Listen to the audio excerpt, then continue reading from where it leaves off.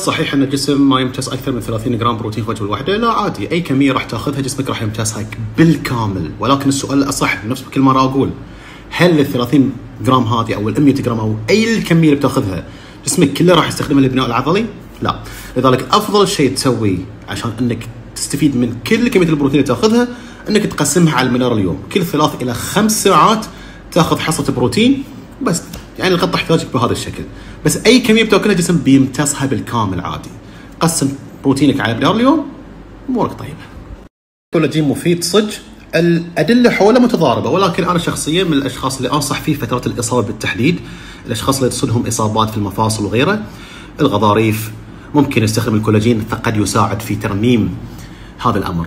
ولكن الأدلة يعني فيها وفيها فيها أدلة واضحة إنها ممكن يفيد وفي أدلة توضح انه العكس. بس اللي بياخذ الكولاجين اللي ياخذ معاه فيتامين سي.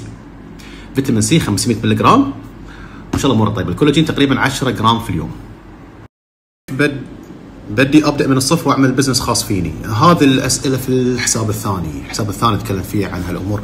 يوم تكلمت عن التسويف وتأجيل المهام.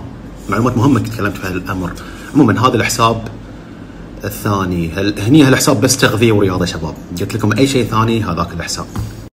شلون تحمي نفسك من مرض السكري؟ شغلتين ثنتين تسويهم. اولا أنك ما يكثر عندك نسبة دهون عالية.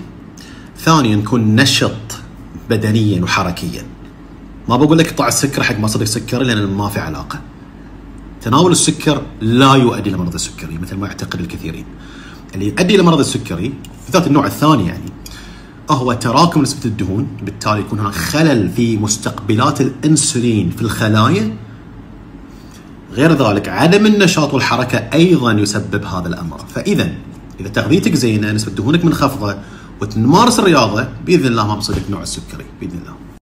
رفع البروتين أثناء التنشيف يساعد في المحافظة أو زيادة الحجم العضلي يعني ضربة فوق اثنين في اثنين وفوق. نعم ممكن. زيادة نسبة البروتين في فترة التنشيف قد تعطي تعطي أفضلية من نسبة البروتين تكون منخفضة بالذات أن جسمك مت... معرض أكثر للهدم العضلي بسبب قلة كمية الأكل أو نسبة السعرات بشكل عام. فزيادة البروتين تعطي الجسم أفضلية في المحافظة على العضلات بدل ما يفكك البروتين في العضلات ويهدم العضلات بشكل عالي. فنسبة البروتين تكون أعلى بالتأكيد فترة التنشيف مقارنة بفترة التضخيم. في فرق كبير من ال whey وال iso مو وايد وايد. ال whey طريقة فلترته تختلف تسميها طريقة طريقة التركيز concentration أما الآيزو طريقة العزل أما هو اللي تسمى ال isolation. الفرق بينهم أن البروتين بيكون شوي أعلى مقارنة بالثاني نسبة ال carb والدهون بتكون أقل في الآيزو. بس بس إذا بنقارن بروتين لبروتين نفس الشيء يعني. بس الفكرة أن نسبة الدهون بتكون أقل نسبة ال carb تكون أقل. فالنسبة الكلية في ال scoop مقارنة بهذا ال scoop البروتين بيكون أعلى في الآيزو مقارنة بال whey. بس الفائدة واحدة النتيجة واحدة. بعض الناس يحتاج إنه ياخذ آيزو لأنه أخف باللاكتوز مقارنة بال whey أو ال concentrated يعني. فهذا الفرق. طبعا كلهم whey كلمة whey تعني مصل الحليب فهي تعني كل الأنواع. بس كلمة whey إحنا في المجال نقولها حق النوع الكونسنتريتد الايزو الايزوليتد وفي الهيدرولايزد ضرورة تنظيف الكبد حتى لو ما دخلت عالم الظلام. لا يوجد ضرورة لذلك لأن أساسا الكبد الله سبحانه وتعالى خلق الكبد وهي عندها القدرة العالية. هذا العضو عنده قدرة عالية على تنظيف نفسه وطرد السموم و والتجنب هذه الأمور كلها. فالبعض يقول لك والله لازم تسوي تنظيف الكبد أو لازم تشرب المشروب الفلاني وتخلط هذه الخضروات الفواكه وتسوي ديتوكس حق ان الكبد ما يتعب، الكبد عنده القدرة بدون هذه الأمور، وحتى لو سويتها لا تتوقع انها راح تعطيك أفضلية على القدرة الطبيعية لجسم الإنسان. فإذا الشخص فعليا ما قاعد يأخذ أدوية أو مواد قد تسبب سمية أو مواد عالم الظلام وغيره، فعليا ما راح يحتاج إنه يسوي أي شيء زيادة حق الكبد. بس إذا تأخذ أي شيء من هذه الأمور نعم قد تحتاج إنك تساعد الكبد لأن هذه الأمور تأثيرها عالي جدا حتى الكبد بنفسه ما يقدر يواكب تأثيرها السلبي عليه. كورس هرمون واستعمل Aromasin بس صار لي تقريبا أسبوعين احس بضعف في الانتصاب.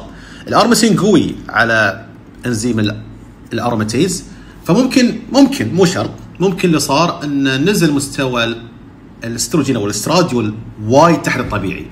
إذا نزل تحت الطبيعي وايد راح يأثر سلبا في الانتصاب وإذا زاد وايد راح يصير يصير تأثير سلبي على الانتصاب. فلازم تفحص روح افحص وتشوف هل الإستراديول أو الإستروجين بالمصطلح اللي إحنا نقوله منخفض وايد أو مرتفع وايد ممكن يكون مو منه منه ممكن يكون عندك مواد ثانية قاعد تدخلها ترفع لك البرولاكتين، البرولاكتين أيضا يسبب ضعف الانتصاب إذا ارتفع وايد. فإفحص التستوستيرون الإستراديول والبرولاكتين وتشوف المدى وين. ممكن أصلا ما تحتاج ال Aromasin يعني يمكن وايد قاعد ينزل لك الاستروجين تحت فبالتالي يأثر سلبا عليك فلازم تضبط الموضوع. رياضة ال calisthenics تبني العضلات بالتأكيد طبعا تبني العضلات بالتأكيد بس اللي عليك إنك تعرف شلون تتدرج في ذلك. في البداية تلعب وزن جسمك بعدين تلعب وزن جسمك بس مثلا تخلي أوزان أو تغير التكنيك أو أو ما شابه ولكن نعم ال calisthenics قد تستطيع أنك تبني عضلات بشكل طبيعي. ولكن السؤال الأهم هل أستطيع أن أبني عضلات نفس لاعبين كمال الاجسام عن طريق رياضة ال calisthenics الجواب لا. لا. فالفكرة أنك راح تقدر تبني عضلات ولكن هذا البناء لمدى معين لأن يعتمد على الأدوات اللي استخدمها على الأوزان على على الشدة على ما شابه ولكن نعم الكالستنكس رياضة تستطيع من خلالها بناء العضلات عن طريق وزن الجسم أو أو ما شابه ممكن ذلك.